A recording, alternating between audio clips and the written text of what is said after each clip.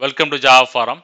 Now I am going to show you how to switch between workspaces in a Red Hat Enterprise Linux 8 operating system.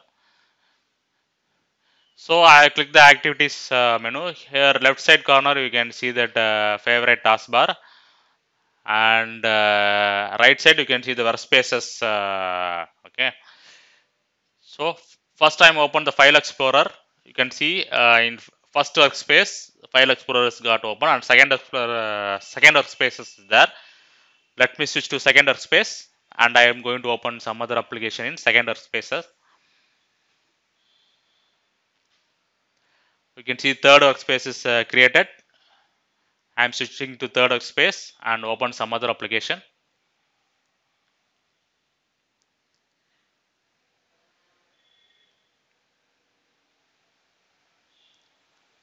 Okay, you can see for uh, fourth one is got created.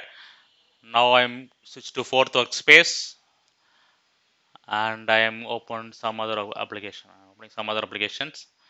Okay, so what is the usage of workspace? So workspace is nothing but grouping of your applications or grouping of windows. Okay, so I can work on some set of applications that can be grouped. Okay, uh, so for example, uh, if I want uh, terminal and calculator, uh, I can switch to third one. If I want terminal and system monitor mean, I can switch to fourth workspace.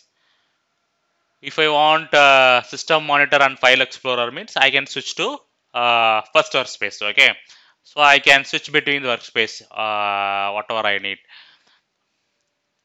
So uh, in simple words, it's a grouping of applications or grouping of your tasks so that you can uh, switch between uh, workspace uh, easily and complete your task.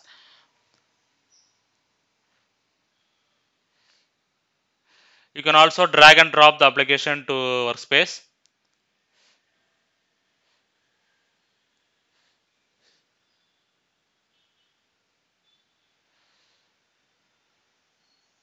Okay, if you close the application means uh, the workspace will be uh, closed entirely.